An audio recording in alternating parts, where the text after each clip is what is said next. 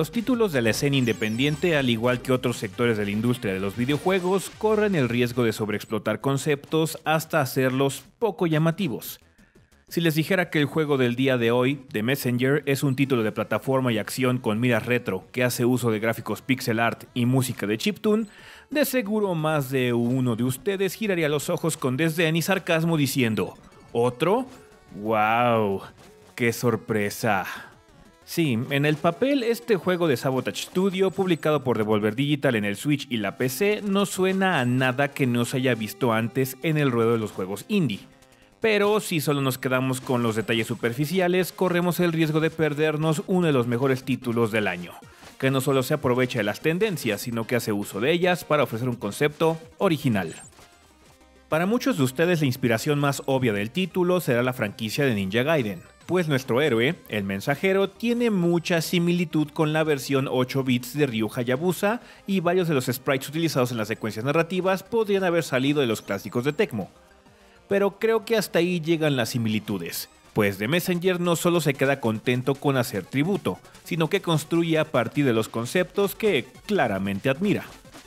Antes de continuar, voy a hacerles una advertencia. No puedo hablar sobre las bondades de este excelente juego sin arruinarles una que otra cosilla, tanto de la historia como del concepto general, así que pueden quedarse con esta idea si no quieren spoilearse nada. Si les gustan juegos como Shovel Knight, Bloodstained Curse of the Moon, Metroid o el ya mencionado Ninja Gaiden, no lo duden, consigan este título pero ya. Pues en mi opinión es de los mejores representantes que tenemos actualmente de esta ola retro que nos ha invadido en años recientes.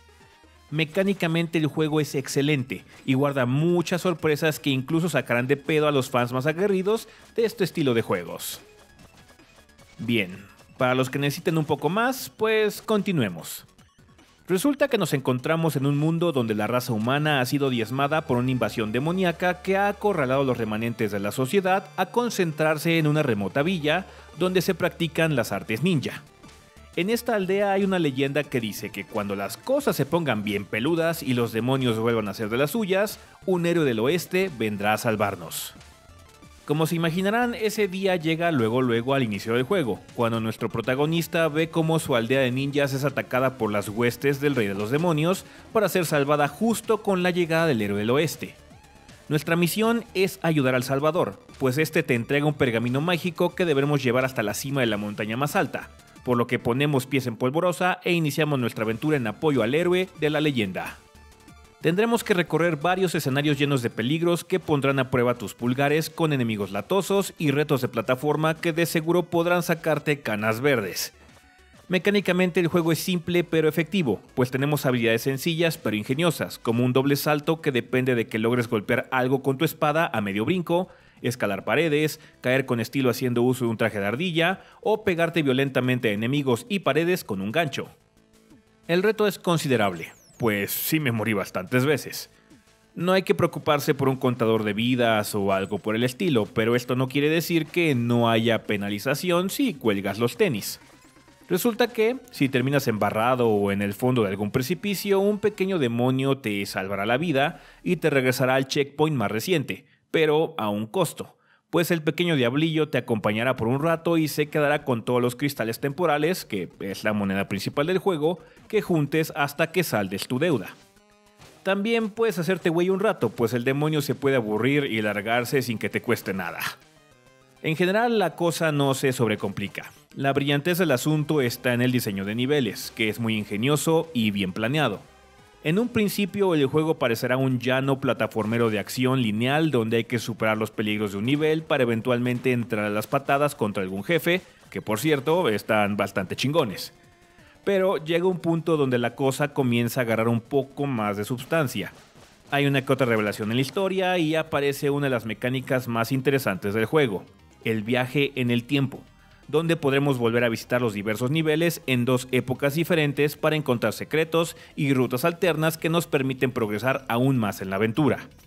Lo padre del asunto es que este cambio temporal no se limita a indicar simplemente a que estamos 500 años en el futuro, sino que cambia el look del juego por completo, dejando a el presente con una vibra de juego de NES de 8 bits y el futuro con un estilo de juego de 16 bits del SNES o del Sega Genesis. Otra cosa chingona es que puedes cambiar de era en un abrir y cerrar de ojos, y muchas veces los acertijos de habilidad dependen de estos cambios súbitos, que además se ven de huevos pues hacen uso de portales temporales que están regados en los niveles. Hubiese sido muy fácil dejar este juego como un simple tributo a los clásicos de ninjas del NES, pero Sabotage le metió galleta y coco al asunto para ofrecer algo muy único que poco a poco se va construyendo. La trama de The Messenger no se toma muy en serio algunas veces y puede estar medio retacada de meta humor, pero de igual forma sabe sorprender, moverte el tapete y mantenerte expectante por saber qué sucede después. No es un juego particularmente largo, pues solo toma alrededor de 10 horas encontrar la gran mayoría de las cosas que tiene para ofrecer. Como se imaginarán, hay muchos coleccionables y un árbol de progresión sencillo con el que podemos fortalecer a nuestro mensajero. Hay veces en donde no va a ser muy claro a dónde tienes que ir para seguir avanzando, pues el juego te escupe vagas pistas, pero con muy poco macheteo puedes comprar indicaciones más claras que te digan qué es lo que tienes que hacer. No cabe duda que uno de los atractivos más grandes de la experiencia es el look visual, que como ya mencioné juega con los estilos de 8 y 16 bits de forma excelente. Esto no solo aplica para la estética de los niveles, sino también para la música, al ofrecer dos versiones de cada uno de los temas de los niveles que simple y sencillamente están de huevos. La banda sonora del título, compuesta por Rainbow Dragon Eyes, es todo un triunfo, y ya está grabada con toda violencia en el repertorio de la música que escucho regularmente. El juego viene en español y lo mejor de todo es que se puede cambiar desde el menú de opciones, lo que es súper ganador y muy conveniente porque la cosa es engañosa y luego sí hay que absorber mucha narrativa. Pero bueno, podría seguir aquí contándoles lo guay que está de Messenger, pero creo que su tiempo sería mejor aprovechado si simplemente lo juegan por ustedes. Las mecánicas están apretadas como resorte de calzón nuevo. El arte visual está excelentemente hecho, el soundtrack está de locos y la trama sabe jugar con tus expectativas. Me divertí de principio a fin con The Messenger y no dudo que si le das su muy merecida oportunidad pase lo mismo contigo. Simplemente hazlo.